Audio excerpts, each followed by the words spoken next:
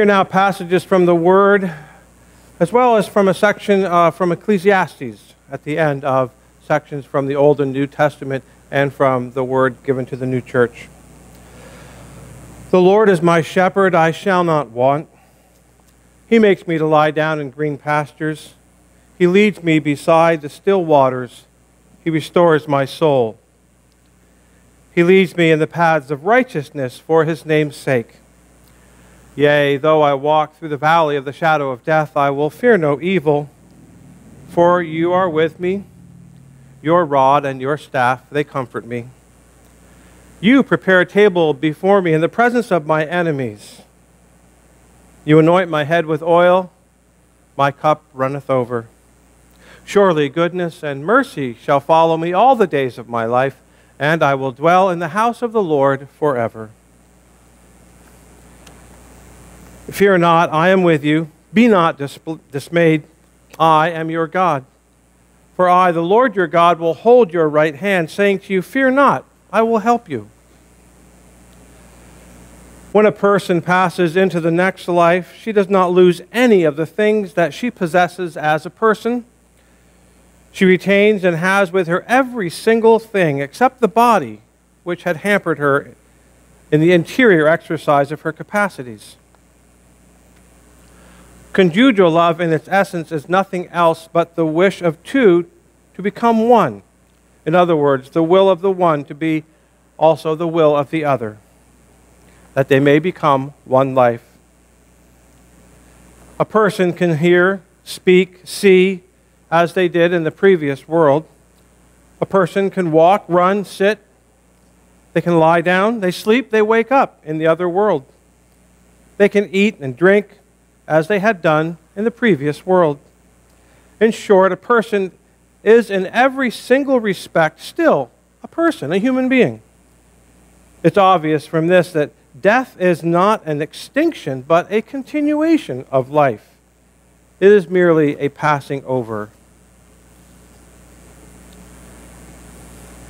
People who enter heaven come into a state similar to their adolescence. That is, they are summoned back into states similar in innocence to the beginning of their first loves as they were maturing, into states of innocence and charity and the affection for truth, which are accompanied by their every delight, indescribably increased now in the other world. In heaven, those who are moved by mutual love are constantly approaching the springtime of their youth and this process continues to eternity, bringing increase in joy and happiness. Those of the female sex who had died worn out with age, but who had lived a life of love and faith in the Lord and charity towards their neighbor, are brought into happy conjugal love with their husbands, and as the years pass, they become more and more like they were in the first flower of their youth and early womanhood, and into a beauty that excels all ideas of beauty capable of the imagination in the natural world. All spirits, as soon as they enter the other life, are recognized by their friends and their relatives and acquaintances. Afterwards, they talk to one another and mingle together just as they had done in the natural world. He will feed his flock like a shepherd. He will gather the lambs with his arm and carry them in his bosom. My sheep hear my voice. I know them, and they follow me. I will give them eternal life, and none shall perish. And I, I will draw all people to myself. Come, let us return to the Lord. He will heal us, He will bind us up. After two days, He will revive us, and on the third day, He will raise us up that we may live in His sight. To everything there is a season and a time for every purpose under heaven. A time to be born, a time to die, a time to plant, a time to pluck up that which is planted, a time to kill, a time to heal, a time to break down, a time to build up, time to weep, a time to laugh, time to mourn, a time to dance a time to cast away stones, a time to gather stones together, a time to embrace, and a time to refrain from embracing, a time to gain, a time to lose, a time to keep, and a time to throw away, a time to tear and a time to sow, a time to keep silence, a time to speak, a time to love, a time to hate, a time of war, and a time of peace. Amen. My cup runs over. Surely goodness and mercy will follow me all the days of my life, and I will dwell in the house of the Lord forever. Ever. These words from the 23rd Psalm seem to beautifully encapsulate Evelyn's humble and trusting attitude in the Lord working in her life.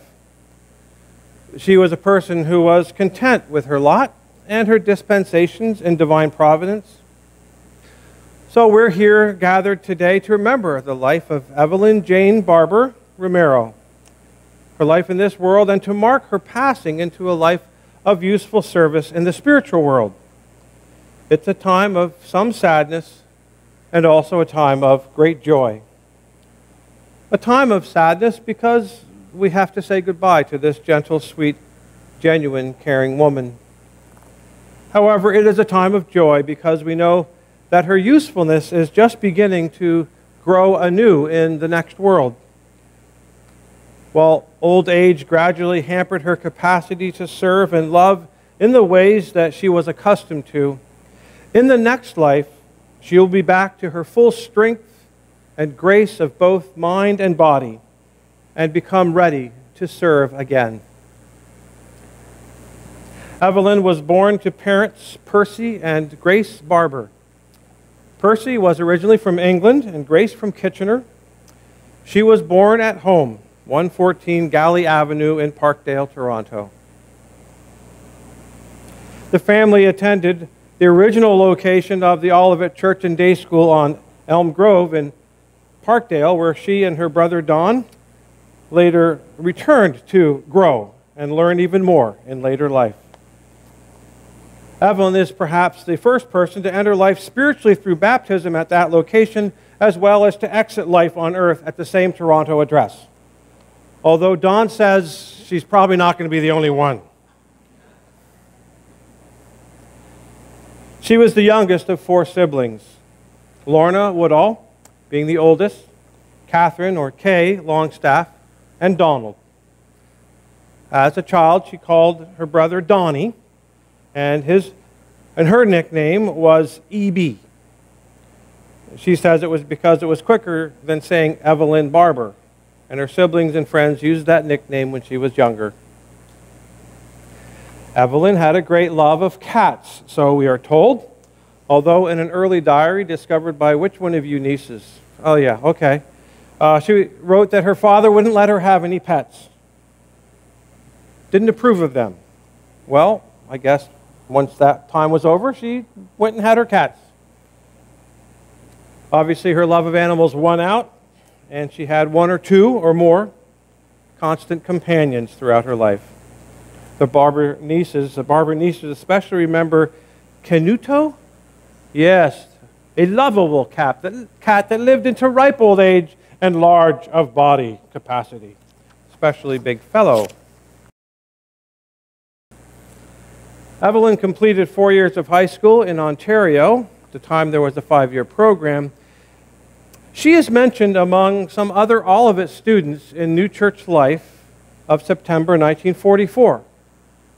Now, some of you might need to do the math on this. Help me out here, but there's sort of a trick part to this presentation of the service here. Five students who went to Bryn Athyn were Evelyn Barber, Corona Carswell, Joan McDonald. Any Joan McDonalds here? Joyce Carter, and Phil Bellinger. It was an all time high record to have 19 Canadians attending the Academy schools this year. In addition to five from Toronto, there were 11 from Kitchener, two from Windsor, and one from Simcoe.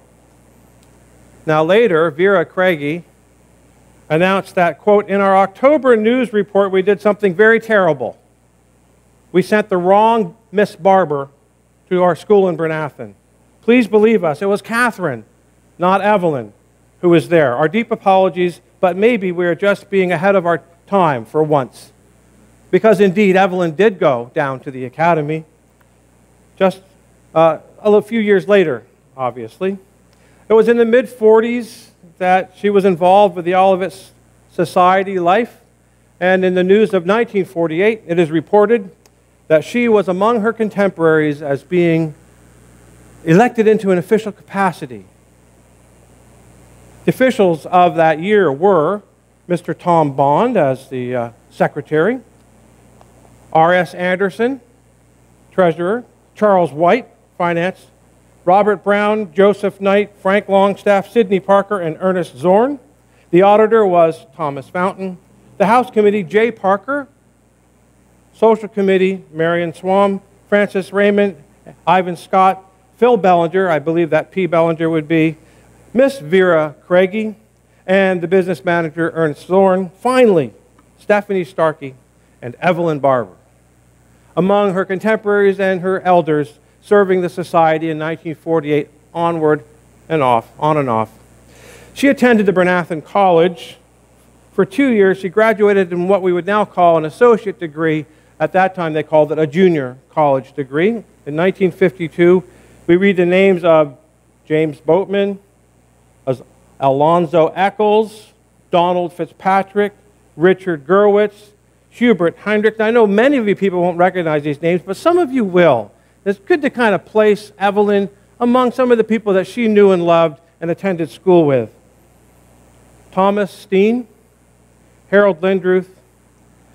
The women that graduated that year were Gwenda Acton, Natalie Allen, Evelyn Barber, that's who we're speaking about, Barbara Barnett, Ruth Brown, Gertrude Hazen. I'm not sure how to spell pronounce Gladwith, Hicks, Gladys Starkey, and Marcia Trimble. Some of her contemporaries. Some people, some of you will recognize the names of, and others are going, okay, I hope that's the end of that part of the service. She entered the business world after graduating from college. She began working for Crown Life Insurance Company until she got married. During those early years, when she was a member of the Olivet Society and serving, she was the head of the Chancel Guild. And she re- filled that responsibility until she was married. Meg and Gabrielle recall their first meeting of Evelyn upon their visit to Canada just before Don and Ann were married in 63. They came to visit Galley Avenue in the winter there. Coming from Bryn Athyn, they had not yet experienced a Canadian winter. It was cold, so they say. Tall and beautiful Evelyn welcomed them, and they immediately loved this sweet, gentle person. They later remember at Don and Ann's wedding in Bryn Athyn that she looked especially gorgeous. And you'll see from the pictures downstairs what a beautiful woman she is and was, and, and how she looked so, so beautiful in those early years as well as her later ones. Evelyn and Isaac, although it's Isaac, Isaac, Romero married at the Olivet Church in 1964. Isaac worked as an international reinsurance person and Don explained to me, he said, that's where like a lot of insurance companies come together to insure something really big, like the Empire State Building. No one insurance company wants to do that. So other insurance companies, I don't understand the insurance business, but it's good that Isaac did. And he was called to work in New York City to be a reinsurer. And Evelyn and he moved there after they got married. They lived in a town called Ossining, New York, a few miles up the Hudson River from New York City. And they built a great circle of friends. They loved to entertain. Evelyn was a talented seamstress, and she sewed many of her own clothing, have many patterns from those stylish 60s days that she would uh, accomplish through her seamstressness. Isaac was from Spain, and they had many holidays and travels in Spain, Portugal, Peru, among other places. After Isaac retired, they put a basement under their Lake Couchiching cottage and winterized it so they could live there permanently, and they enjoyed their country life with their cats and their beautiful garden on the lake. Although Evelyn never had children of her own, she was very fond of her nieces and her nephews. She took an interest in all of them. She was never afraid of the commute from Orillia to Toronto and joined family here for many holidays, dinners, and festive gatherings. We're told that the old mill was a favorite celebration spot. She got together with her sister Lorna and Fred, their husband in Lake jo- their, their cottage in Lake Joseph, as well as Don and Ann, and also Kay and Fred Longstaff. They would all meet up. They all enjoyed their cottage lives. When their cottage life became too much for her on her own, she moved into a retirement residence in Orillia, still on the lake with beautiful views of the water. Family would visit for lunch and take her out to the Mariposa market for shopping and cinnamon buns. On those trips, the favorite thing was to watch her face light up with joy when she would see a child, and she loved children. Don was a faithful visitor to her through many, many years of her living a distance from him and him finding his way to visit her and show his love and care for his sister. Later years, she needed more constant care as her dementia advanced. She moved into the Grenadier in Toronto, where Don and Anne lived. She still recognized Don, perhaps the last face that she could recognize as dementia took over. She responded to him. She loved to be held, hold his hand and be close to him. She passed away peacefully at the Elm Grove Avenue apartment, the same location as that church I mentioned earlier. What a small world. She maintained her gentle disposition throughout her life, even during her final years of dementia. The Lord is my shepherd, I shall not want. He makes me to lie down in green pastures. He leads me beside the still waters. He restores my soul. Well done, thou good and faithful servant. Servant, you have been faithful in a few things. I will make you master over many. Amen.